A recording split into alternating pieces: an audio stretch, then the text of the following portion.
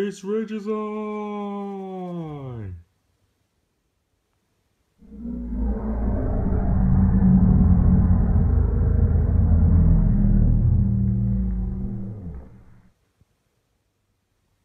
Come down here, you stupid monster.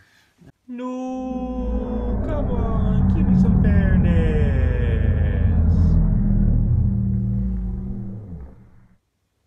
Well, I'm Joe Cool, and I say, put that thing in the zoo.